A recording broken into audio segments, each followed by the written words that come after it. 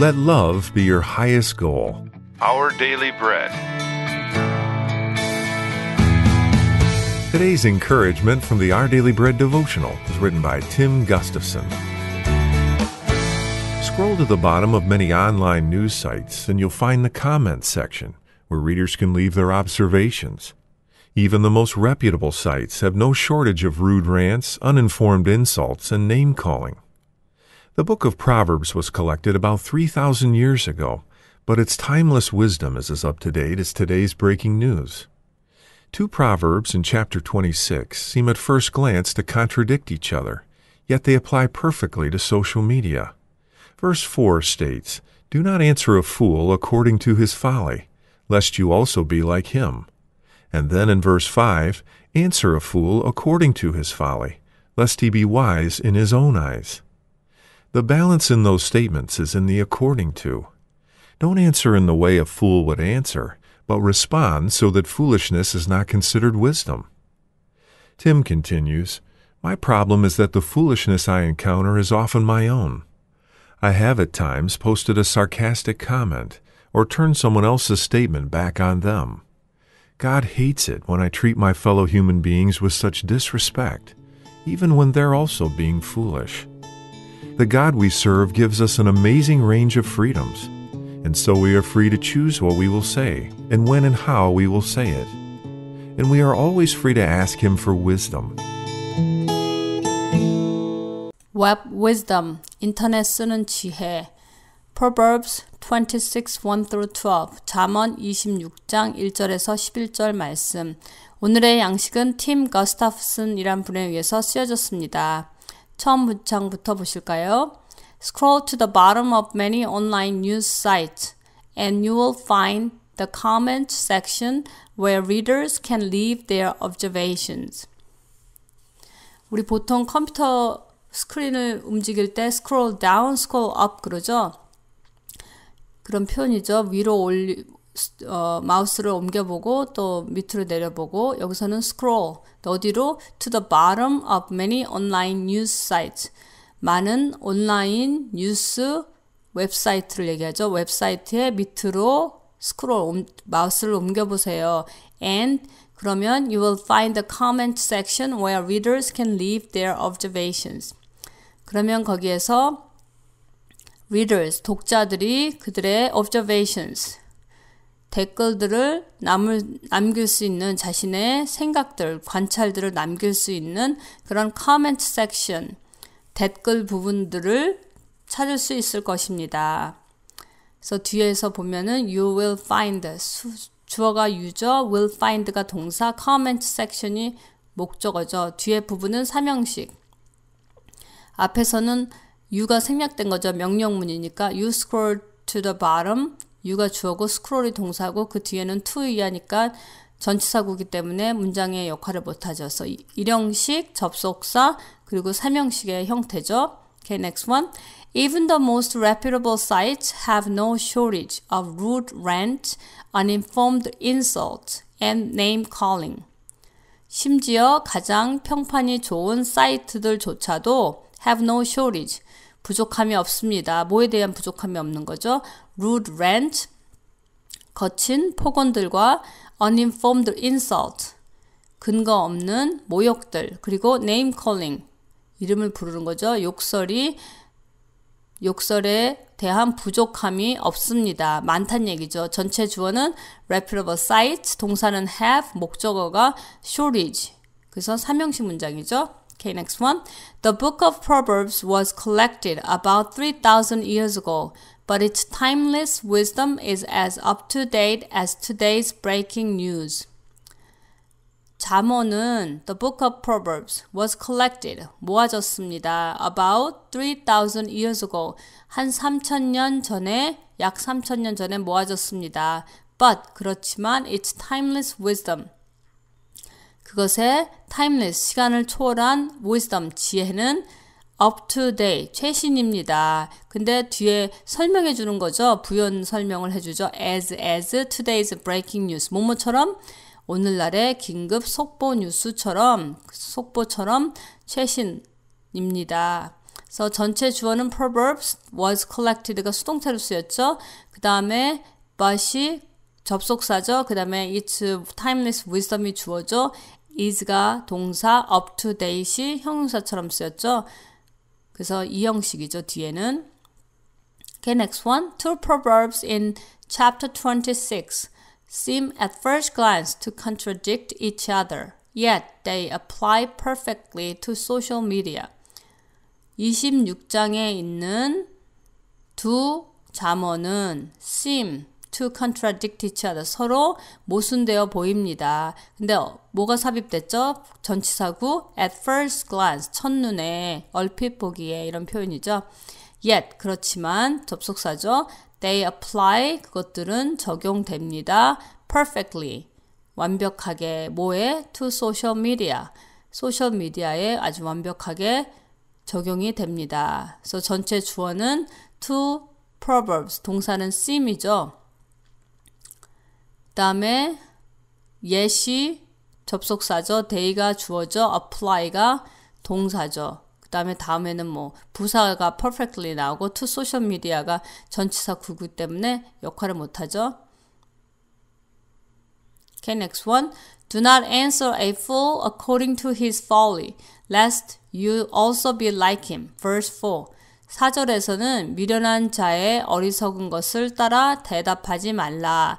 주렵건대 내가 그와 같을까 하노라. So lest, L-E-S-T, 그 다음에 should가 뒤에 나오는데 뭐뭐 하지 않도록 내가 그, 그와 같이 되지 않기 위해서 미련한 자의 어리석은 것을 따라 대답하지 말라. 직역하면 그렇게 되죠. Okay, next one. And then answer a fool according to his folly, lest he be wise in his own eyes. Verse 5. 5절에서는 그리고 미련한 자의 어리석은 것을 따라 그에게 대답하라. 두렵건대 그가 스스로 지혜롭게 여길까 하노라. 라고 말합니다. 그래서 여기서도 lest should, lest he should be wise in his own eyes. 그가 자신의 눈에 볼 때 wise, 두렵, 지혜롭다고 생각하지 않도록 미련한 자의 어리석은 것을 따라서 대답하라. 이런 얘기죠. 직역하면. Okay, next one. The balance in those statements is in the according to. Don't answer in the way a fool would answer. 이 두 구절의 밸런스, 균형을 잡아주는 것은 in the according to, according to 뭐뭇에 따라입니다.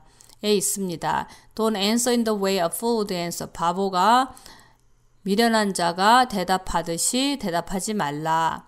But respond so that foolishness, foolishness is not considered wisdom. 그러나 그의 미련함이 지혜가 아님을 알 수 있도록 대답하라. 그래서 뭐뭐 하도록 대답할 respond you가 생략된 동사 주 동 저기 문장이죠. 다음에 next one. Now my problem is that the foolishness I encounter is often my own. 문제는 뭐냐면 나의 문제는 이 주어져 is가 동사 데디아가 주격 보호죠. 이 형식 문장이죠. 내 문제는 데디아입니다. 내가 만나는 foolishness 미련함이 is often my own 종종 나의 것입니다. 나 자신의 것입니다. 는 것이 문제입니다. I have at times posted a sarcastic comment or turned someone else's statement back on them. 나는 종종 have posted 포스트 해왔습니다. A sarcastic comment, 냉소적인 글이나 또 냉소적인 글을 post, 웹사이트에 post 올렸습니다. 올려왔습니다. 또는 turned someone else's statement back on them. 그리고 어떤 누군가의 statement를 다시 그들에게 도, 되돌려서 쏘아붙이곤 했습니다. 그래서 전체 주어는 I죠. have posted가 동사, 그 다음에 sarcastic comment이 목적어죠. 그 다음에 turned가 다시 동사죠. someone else's statement이 목적어죠. Next one. 그래서 삼형식이죠. 위의 문장은 삼형식 접속사 삼형식이죠. God hates it when I treat my fellow human beings with such disrespect, even when they are also being foolish. 하나님은 그것을 싫어하십니다. 언제 싫어하시죠?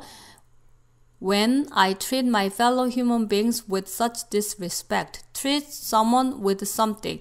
나의 fellow, 나의 같은 종류의 사람인 인간을 다른 사람들을 얘기하죠. 다른 사람들을 such disrespect 아주 무례하게 취급할 때 하나님은 싫어하십니다.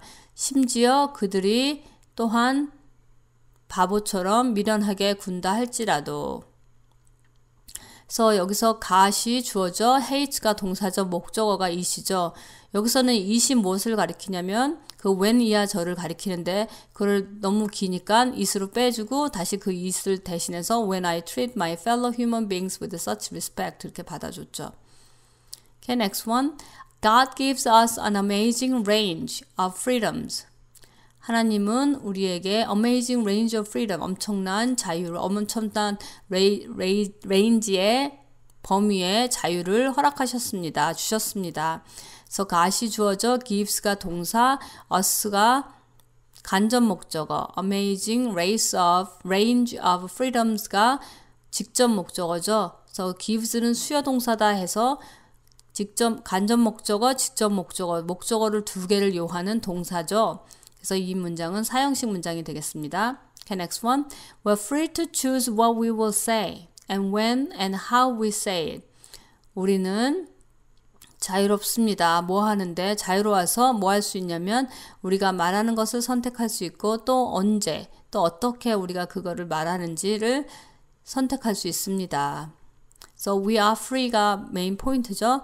주어는 we, 동사는 are, free가 주격 보호로 이 형식 문장이죠. And we are always free to ask him for wisdom. 그리고 우리는 항상 자유로워서 자유롭게 뭐 할 수 있죠? ask him. 힘이 캐피탈로 쓰였죠. 자, 대문자로 쓰였죠. 그래서 주님을 얘기하죠. 하나님께 ask 간구할 수 있는데 뭘 간구하죠? for wisdom. 지혜를 간구할 수 있는 자유도 있습니다. 자유로워서 주님께 지혜를 간구할 수 있습니다. So we가 주어져 are가 동사 free again, free가 주격 보호로 이 문장은 이형식 문장입니다. Things to keep in mind is what I am saying true and is it loving?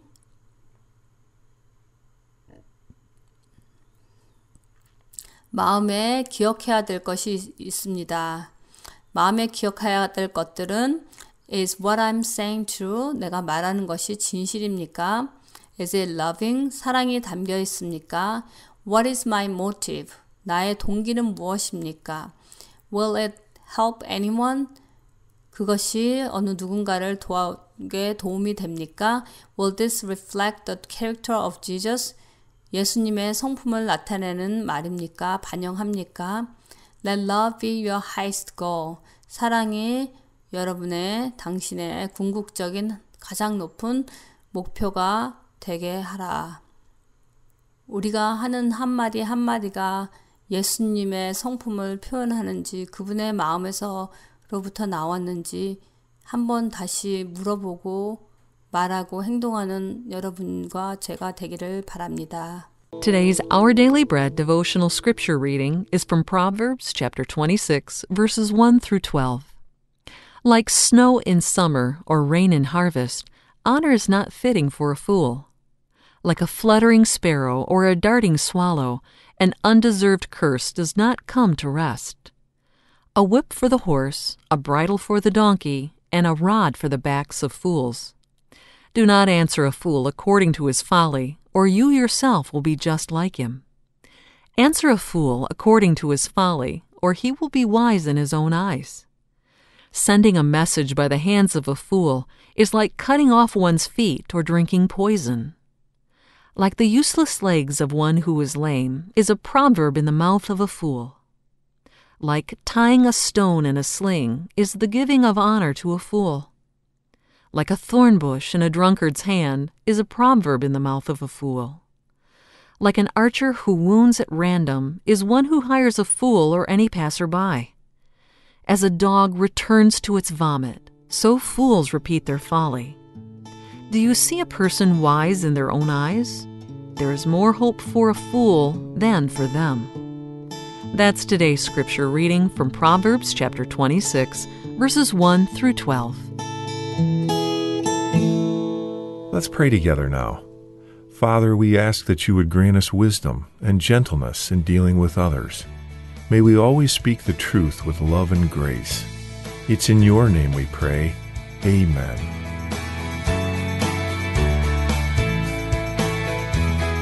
Today's encouragement was provided by our Daily Bread Ministries.